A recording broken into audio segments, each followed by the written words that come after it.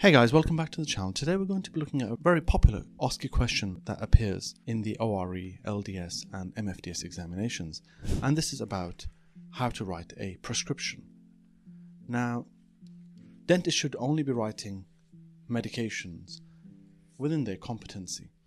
And it's important before you write a prescription that you assess the patient's condition, take into account any medical history, any drug history, and any form of allergies that they may. Dentists can only prescribe on NHS prescriptions for drugs that are included in the DPF, which is the Dental Practitioner Formulary, which is now incorporated in the uh, BNF, which is the British National. NHS prescriptions are written on a specific uh, prescription pad.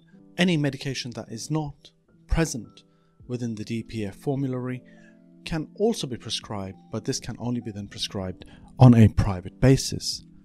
Private prescriptions can be written on a practice headed paper, following the same recommendations for NHS prescriptions.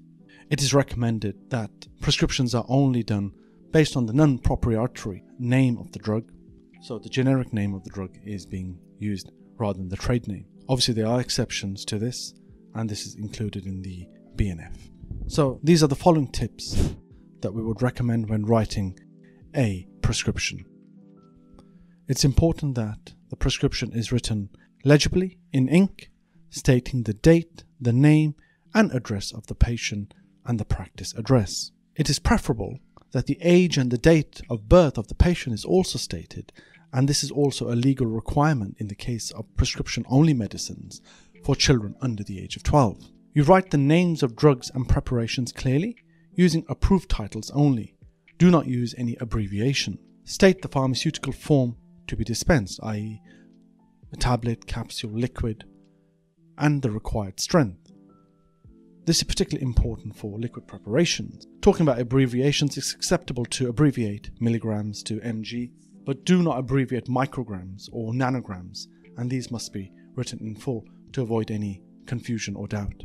It's important to state the dose and the frequency. State the quantity or the volume to be supplied. This may also be indicated by stating the number of days of treatment. For example, seven days of antibiotics will be required, and if the dose and the frequency is three times a day, then the pharmacy will dispense 21 capsules or tablets, or the equivalent amount of volume for the suspension. Hence, coming to the liquid formulation, if the volume to be dispensed will be calculated by the dispenser, provided that the number of days of the treatment required is included. Sugar free versions are also recommended where available. In the case of preparations to be taken as required, require a minimum dose interval and the total quantity to be supplied. And at the end, make sure that the prescription is signed in the ink. Well, thank you very much. I hope this video is beneficial to those who will be taking the exam soon.